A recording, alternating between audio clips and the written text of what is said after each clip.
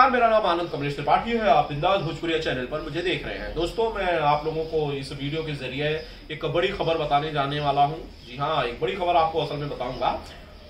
Cinema Bhojpuri के jubilee star Dinesh Lal Yadav Nirahua को corona हो गया। जी हाँ दिनेश लाल यादव निरहुआ कोविड पॉजिटिव हो गए हैं। ये खबरें कई जगह से मैंने सुनी और मुझे ये बताया जा रहा था कि भैया, निरहुआ इस संक्रमण से पूरी तरह से प्रभावित हो गए हैं। फिर मैंने सोचा कि आखिर ये सच क्या है इसके पीछे, क्योंकि आजकल फर्जी खबरों का भी फर्जीवाड़ा चल रहा है। बहुत सारी झूठी खबरें आपको तमाम सोशल मीडिया साइट्स पर नज़र आ जाएँगी। तो इस खबर की हकीकत जानने के लिए मैंने दिनेश लाल यादव निरहुआ को फ़ोन किया, जो कि इन दिनों उत्तर प्रदेश के बांदा ज़िले में अपनी नई फ़िल्म सबका बाप अंगूठा छाप की शूटिंग कर रहे हैं।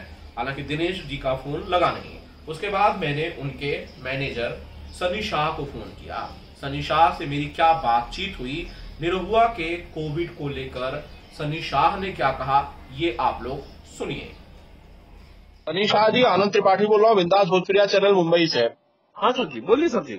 मुझे ये बताया जा रहा है कि दिनेश लाल यादव निरहुआ भोजपुरी सिनेमा के जुबली स्टार वो कोरोना पॉजिटिव हो गए हैं। आप उनके मैनेजर हैं मुझे बताइए इस बात की क्या सच्चाई है। आपके माध्यम से भी पता चला है हमें पता करने दीजिए सर। आपको इस बारे में कोई जानकारी नहीं है अभी तक? ना अभी तक नहीं है क्योंकि ये पहले ही आपने भी बताया अभी जस्ट हमें आपके माध्यम से पता चली है। तो ठीक है। वक्त दीजिए हम चेक कर लेते हैं सर। ठीक है मतलब अभी ये बात पूरी तरह से सत्य नहीं है। ना अभी तो देखिए दोपहर तक तो कुछ नहीं कुछ अपडेट नहीं था फिर भी हम एक बार जानकारी दे देते हैं। दिनेश लाल यादव निरहुआ से आपकी पिछली बातचीत दोपहर में हुई थी या उससे पहले हुई थी? कब हुई थी? हमारी बात हुई थी सुबह के टाइम। उस टाइम पे दिनेश जी ठीक थे? एकदम बढ़िया थे एकदम कहाँ है दि- दिनेश लाल यादव कहाँ है और क्या कर रहे हैं? तो शूटिंग पे है। कहाँ पर? बांधा बांधा प्रदेश। में शूटिंग पे हैं अपनी नई फ़िल्म के। हाँ सर। तो फ़िलहाल इन खबरों की आपको कोई जानकारी नहीं है। ना ना अभी तक नहीं है फिर भी हम पता कर, कर लेते ठीक है। मुझे आपके आपका मुझे इंतज़ार रहेगा। और thank you so much sir welcome sir हालाँकि जब सनी शाह ने मुझे ये कहा कि उन्हें तो पता ही नहीं है इसके बारे में, और वो मुझे पता करके बताएँगे, हालाँकि खबर को कंफर्म करना तुरंत ज़रूरी था, फिर मैंने एक बार फिर से दिनेश लाल यादव निरहुआ को कॉल किया, और इस बार फ़ोन लगा। दिनेश जी ने मुझे बताया कि भाई वो पूरी तरह से सुरक्षित है, पूरी तरह से स्वस्थ हैं।